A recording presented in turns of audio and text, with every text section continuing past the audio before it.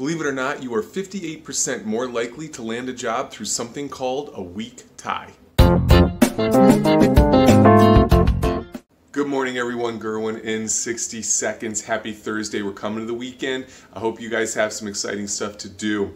This concept of weak ties is a relationship that has gone dormant. Someone that you used to be a friend with or used to be acquaintances with, but you have not talked to in a while and don't have an active relationship with. You are actually more likely to uh, find a job or uh, make a sale through a weak tie and get introduced to the people that you need to get introduced with. Because these are the people that used to be friends people you can easily reach out to. It's not as awkward because they were friends or acquaintances at one point but they're maybe in different geographical areas. They have different networks. They're in different social circles. So it opens up your network significantly. The, your job is to reach out to these people.